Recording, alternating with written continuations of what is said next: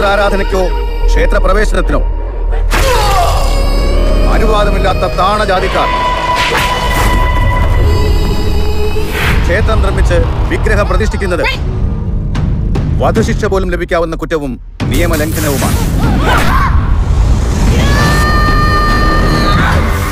അപ്പൊ നീയാണ് അടവുകൾ പഠിച്ച ചോവത്തി പെണ്ണ് നങ്ങേലി. പക്ഷെങ്കിൽ ഏങ്ങളുടെ തുണിയില്ലാത്ത ശരീരം കാണാൻ വലിയ ഇഷ്ടമാണല്ലേ? നിറി നാണൂലാത്ത വർഗം. ഇത് തിരുവിതാംകൂറിന്റെ അഭിമാനത്തിന്റെ പ്രശ്നമാണ്. എനിക്കറിയേണ്ടത് വേലായുധന്റെ അഭിപ്രായമാണ്. കൊച്ചുണ്ണിയെ നേടാനുള്ള കരുത്ത് ശേഖർക്കുണ്ടോ?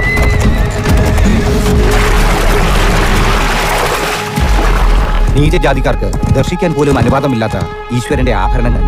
അതേ ജാതിപ്പെട്ട വേലായുധനെ കൊണ്ട് വീണ്ടെടുക്കുക എന്ന് വെച്ചാൽ സ്പർശനം കൊണ്ടുള്ള ആ അശുദ്ധി ഒരു പാപകർമ്മമാകും. ആറുമറച്ച് നടക്കുന്ന കീഴാതി പെണ്ണുങ്ങളുടെയും മുലക്കരമടക്കാത്തവരുടെയും മുല രണ്ടും മാത്രമല്ല തലയർത്തുകളായാണ് ഉത്തരവ് ഇറങ്ങിയിട്ടുണ്ടെന്ന് പറഞ്ഞേക്ക്. പക്ഷെ അധികാരമുണ്ടെന്ന് വെച്ച് മനുഷ്യരെ ഇങ്ങനെ കീടങ്ങളെ പോലെ കാണരുത്.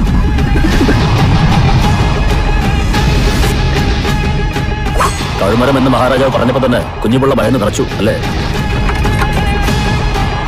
ഇന്ന് രാത്രി അല്ലെങ്കിൽ നാളെ രാത്രി എന്തായാലും അത് നടന്നു ചേകോരെ താണജാതിക്കാരെ പെണ്ണുങ്ങളുടെ മുലമറയ്ക്കാനും അവരെ മുണ്ടുടിപ്പിക്കാനും നടക്കുന്ന പോലെ. കൊച്ചുണ്ണിലെടുത്ത് വരരുത്. തല്ലിക്കൊന്നി കാട്ടിൽ കെട്ടി തൂക്കും ഞാൻ. മാറമറച്ചാൽ മുലയേരി. ഉടവിട്ട കാലേരി. ഇങ്ങനെ ജീവിക്കുന്നതിലും ഭേദം മരണമാണ്. അടിയൻ ദേഹത്തോട്ട് അശുദ്ധമാക്കിയെങ്കിൽ പുണ്യഹം കഴിച്ച് കേട്ടോ.